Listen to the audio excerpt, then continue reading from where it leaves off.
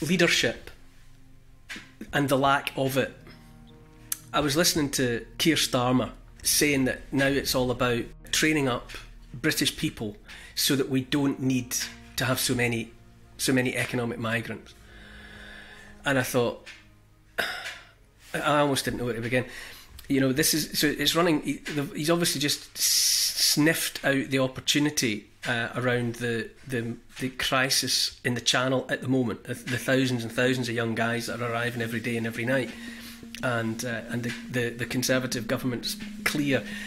I doubt very much if it's an inability to stem the flow. I think it's a disinclination to do anything about it because it's serving some other larger agenda, which is to say keeping the people of Britain wound up, anxious, and, and uncertain about what lies ahead.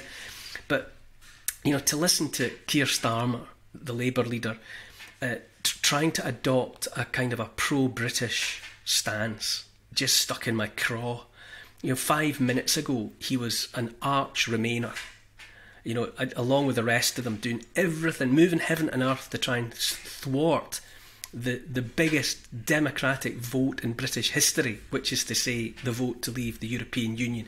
It was all about remaining, all about a second referendum and all the rest of it. And now, because he, uh, out of political expediency, he so transparently changes his tune. And it's all of it. Rishi Sunak you know, a couple of weeks back there saying that he wasn't going to go to COP27 because there were so, so many urgent matters to be dealt with at home. And then his master yanked his chain and instantly he was away across on the on the on the Range Rover and the jet out to Egypt uh, to to join in the chorus of uh, net zero and climate crisis and all the rest of it. You know, less less fewer vertebrae than a jellyfish. Um, it, the whole there are there are leaders and and how we don't have them. And so it, it made me think I've I've written I wrote a book a few years ago called uh, Amazing Tales for Making Men Out of Boys. And it was about a lot of things but it was also it was partly about leadership. So it's always been something I've thought a great deal about. And uh, as as often happens I was thinking about Shackleton and the Imperial Transantarctic Expedition. And le- legend has it, I'm, I'm pretty sure this did happen, but he, he, legend has it that he put an advert in the newspapers that read, Men wanted for hazardous journey, small wages, bitter cold, long months of complete darkness, constant danger, safe return doubtful, honour and recognition in case of success. Now that's brilliant. You know, um, that's that's not an invitation to join. I'm a celebrity. Get me out of here. That's that's the whole that's the whole opposite end of the spectrum. And he was he was inundated with requests, uh, applications rather. It was two ships, uh, two ships. Uh, he would be aboard the Endurance. That would take the party to, to do the walk from from one side to the other via the South Pole, and another ship, the Aurora, would go in at the other side, and the party would walk to the South Pole, and then walk back, dumping supplies, so that there would be a, a, a so that when when Shackleton and his party reached the South Pole, they only had to take enough food to get there, and then they could walk out and pick up the supply dumps, you know, dropped like bed, breadcrumbs all the way back to the other side. That was the plan. They've got as far south as South Georgia, uh, down just outside the kind of Antarctic reserve, um, and they were told by whalers there. Uh, they put in there to, you know, just for a break and the, the whalers there said that the pack ice was way farther north than it would normally be, which was bad news because they were, you know, going to impede their, their progress to Antarctica itself. So they set out um, uh, in December 1914, by, by, by the, it is by now, and they were soon, right enough, they were trapped. The pack ice just closes in around them, and now they're they're locked in. So by January 1915, they're just they're just fixed. They're sitting there like a you know like a like a cherry on the on the icing in the middle of the in the middle of the, the Southern Ocean.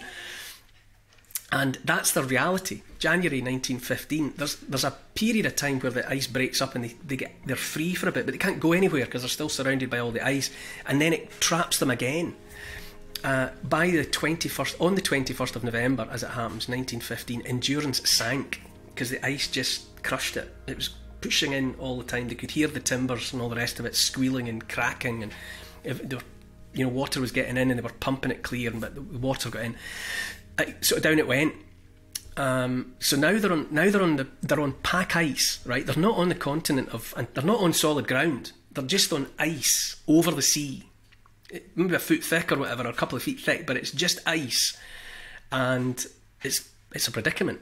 They're staying in uh, wee wee makeshift tents, and uh, they've got boats. Uh, like uh, we would call them rowing boats, basically very small, uh, open boats. Three of them and Shackleton was just, he was just a leader. He knew where he wanted to go. He had ideas about how he very specific ideas about how he was going to get it done. And he was ready to take the responsibility for himself, for the project, and for everyone around him. That's a leader. And so he said, Right, now we'll go home. Right, they're, they're, just, they're just on the ice in the middle of nowhere, literally, as far from home as you could possibly be, short of going to the moon. And he says, "We'll go home," and that that kind of that kind of leadership. He, he's, the people around him trusted him. They called him the boss or boss, and they had good reason to trust him because, unlike the shambles, unlike the hollow sock puppets that we have around us, who are, after all, not delivering their own thoughts, they're reading from scripts prepared for them by other people. Shackleton spoke honestly and from the heart. He told them what he intended to do, and by the force of his personality, he was able to persuade them to do likewise. You know, so I, have mentioned, you know, Keir Starmer, which is it just happens to be his latest pronouncement that, that triggered me, but it, it, could have been any of them. Um, and you know, without a shadow of a doubt, that uh, what he was saying a few months ago is just as likely what he still thinks today, despite the fact that he's saying something different. And trust me, it'll he'll say about wanting to train up British people and cut migration until he's through the door of number ten, and then it'll all be different. It'll probably be business as usual. The, the crucial difference is Shackleton believed he believed in something. He had conviction and he had commitment, and he was ready to and willing to do whatever was required. He would put up with any hardship, and he would do that himself. He would put up with the worst of the worst. I mean, endlessly infuriated by the way we're surrounded by people who say we should do one thing while they do another. They say we should stop eating meat while they eat beef and chicken and sea bass and salmon at COP27. And they say we should practically go back to horse drawn carts while they fly about the place in private jets. That's the antithesis of leadership. I would begin to believe that they had any kind of spine if whatever it was they had in mind for us, they were doing first. If no one's supposed to fly to save the planet, then they should be having all their meetings via Zoom. If we're supposed to eat bugs and protein sludge rather than beef, and the rest, then they should lead the way. If we're supposed to heat our homes with heat pumps, then that's how they should heat their homes at their own expense. They should show us the way. They should show us that it works and that it makes them happy. If we're not supposed to have petrol and diesel driven cars, then they should never go anywhere near any mode of transport that uses fossil fuels. That's leadership. And you have it in someone like Shackleton at that time. Whatever had to be borne, whatever had to be endured, it's so appropriate that his ship was called Endurance. He was ready to endure it first and longest and hardest. And that kind of honesty, that kind of demonstration of, I'll do it too, in fact, I'll do it first and I'll do it for longer, if you'll come with me and just share some of it with me, that's leadership what is being exposed and made blatant at the moment is that Sunak, Rishi Sunak, Keir Starmer, the rest of them have none of that. They have none of that character, not an ounce of it. They exist to exist. And they exist to get rich. They believe in nothing and they care about no one. They care about themselves and a narrow cadre around them uh, that, that they use to get what they want. But they don't care about any of us. They don't care if we sink to the bottom of the Southern Ocean while they sail away in the rescue ship. That much is blatant. I'm reminded all the time, actually. You know the footage you sometimes get from, uh, you know, a, you know, a, a, wildlife documentary will be on the seabed. You know where they put those cable controlled drones, these remote things down miles down into the ocean. And they'll, they'll arrive at some, in the darkness, they'll illuminate it, and there'll be some god-forsaken vent on the seabed five miles down, and there'll be things venting from it. God knows what. Sulfuric acid. It could be anything. It, you know, the most toxic environment on the planet.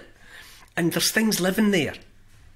There's always something living there, existing in a toxic hell that has evolved to do nothing but survive and reproduce. That's them. Because in order to evolve to the point where they can survive and thrive in the world that they've created for themselves, they've set aside higher objectives like honour and decency and the long game and being prepared to make sacrifices for to, to, to help other people. All they seek to do is persist. They're just like those blind, leather skinned creatures on the seabed that can breathe in sulfuric acid. There's no God, no country, no belief in anything greater than their own advancement. And it's made so obvious when you compare them to the to the activities of someone like Ernest Shackleton. Shackleton was a leader. When they were still back on the pack ice, when he said, Now we'll go home, he said to them, Don't take anything at all with you unless it's actually going to help keep you alive. Nothing, no spare, nothing. And to make his point, he took off his gold pocket watch, which was his father's, and a cigarette case, and he walked them over to a hole in the ice and just dropped them into the sea. He said, They're not going to keep me alive, so I'm not going to bother carrying them. You can imagine that kind of that you know that kind of demonstration of leadership. When they were close to Stromness, they had to climb down a cliff, and they had a rope, some tattered bit of rope with them, and they, they tied it to a rock at the top, and then they all climbed down. And as they walked away from it, Shackleton turned around and realised that that was it. They, they, lit, they had nothing. They were walking out of the Antarctic with the clothes they stood up in. They didn't have so much as a rucksack between them. They had nothing. But he said that was all of tangible things, but in memories we were rich. Uh, that kind of thinking, where it's about more, we live in this pathetically consumerist society, you know, where the powers that be just all they seem to want to do is to find cheaper and cheaper slaves to make crappier and crappier stuff that more and more of us will buy in an endless, wasteful cycle of meaninglessness. Hang on, Paul. There's a big hound wants out.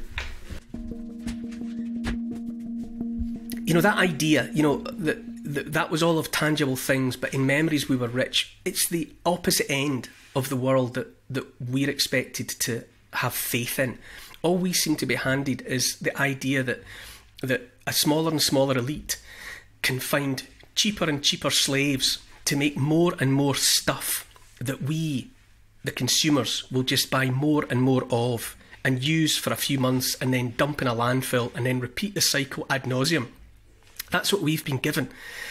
That's the reality into which we are being herded. And then you compare it to Shackleton. Shackleton was a force of nature. That idea that he was he was a natural man is a glimpse of why those of us opposed to what's happening now, this seismic change that's being forced upon us, we will win in the end. I am here today to tell you that we will win in the end. Shackleton had some luck on his side and not everybody liked him. He was he was an awkward man in many ways, but he knew what he was capable of, and he didn't want some soft life. He's safe at home, in an office, sending emails. On the contrary, he knew what it was to be human and alive, and he knew it was about pitting himself against all comers and pushing on and not complaining and enduring and as a product of that, achieving. They had a sense beyond the material. They knew that life wasn't about being, you know, you know, in your bedroom in your Paddington Bear pajamas playing Warcraft and getting a Domino's pizza delivered by Deliveroo. You know, they were out in the world being human and alive, and the technocrats know nothing of men like that. They will never be men like that. That's why they have their fantasies of transhumanism, merging human and technology. It's come about because they cannot begin, that elite, that narrow, shallow elite that's got all the money. And who cares about money? They've got all the trillions, you know, they've got all the gear and no idea. Their obsession with transhumanism has come about because they don't understand what human is and they don't understand what human is for. And as a consequence of that, they don't just fail to value human beings, they despise them. And that will be their undoing. We think that's the threat, but that in truth is their Achilles heel because their ideology is an inversion of nature. What it's it's upside down and back to front and wrong wrong in, in the natural law sense of right and wrong. They are running counter to nature, and nature has been running the show for 14 billion years. So, what they are trying to do with their inversion and their subversion and their suppression and their oppression and their censorship and the rest of it is like holding a ball underwater or smothering grass beneath concrete it only lasts as long as they've got the energy for it, and their energy will run out. And they are in defiance not just of nature, but of the natural order of things. Their worldview is an inversion of all that's natural, and for that reason, they are doomed to fail, and we will win.